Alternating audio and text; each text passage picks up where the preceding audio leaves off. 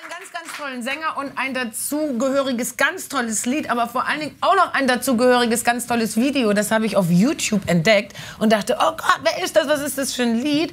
Und dann habe ich mich schlau gemacht und deswegen begrüßt man mir Dick Zöllner!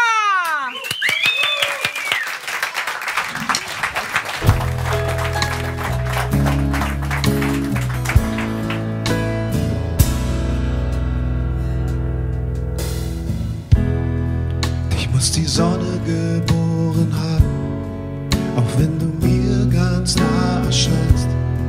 Wir sprechen beide dieselbe Sprache, nur dass ich lache, wenn du weinst. Wir haben beide denselben Vater, der uns verließ vor einer Ewigkeit. Seiner Schlachtfeld, meiner Garten. Wir sind blind, doch wir sind zu zweit. Lass mich nicht los. Ich will nicht wissen, was du fühlst. Lass mich nicht fallen. Ich will nicht hören, was du mit mir spielst. Lass mich nicht los. Lass mich nicht fallen. Schau doch, die Dämmerung ist verschwunden. Sie sucht woanders ihre Zeit. Brich nicht die Stille, schlag keine Wunden, bevor du unseren Tanz bereust. Komm, lieb mich um meine Leid. Lass die doch reden von ihrem Sieg.